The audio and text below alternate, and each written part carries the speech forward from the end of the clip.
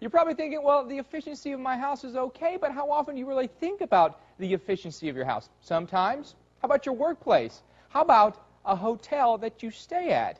Probably never, right? Well, tonight we take you to Greensboro, North Carolina with our own Julie Martin for a look at the remarkable destination of the Proximity Hotel. Julie, what exactly is it about the Proximity that makes it so special? Well, you know, Mike, the Proximity is the first hotel in the U.S. to achieve LEED Platinum status. Now, that's the highest eco category to be handed out by the U.S. Green Building Council. Have to meet a number of criteria in a number of categories. But the interesting thing about it is you really don't see the many ways it's helping the environment just by stepping inside.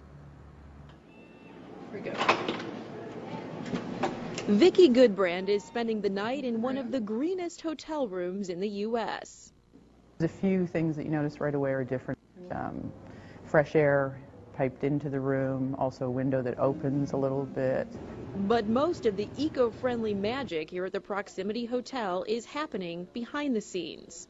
We heat all of our water in the uh, restaurant and our laundry and all of our guest rooms with uh, solar hot water. It's amazing even today these these panels are generating a lot of hot water.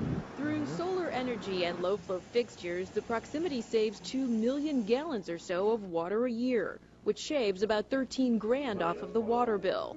Energy savings are in the triple digits. 97% of its space has natural lighting, which lessens the need for a light switch. Commercial hoods in the kitchen only turn on as needed. Its refrigeration is geothermal. And the hotel elevator is the only one in the U.S. to use the energy it creates on the ride down for the ride back up. All part of an equation that adds up to an energy savings of 39% a year. Uh, one of the things I say is it's not uh, sustainable to go broke. You know, so we had to make good case a good case for anything that we did, not just an academic case, but a practical, realistic case that that made sense from a business perspective. It's fundamentally um, an urban legend that it costs too much to uh, build new construction using sustainable practices as one of your benchmarks. It cost about three million more to build the proximity green, but Quaintance expects to see a payoff in just four years.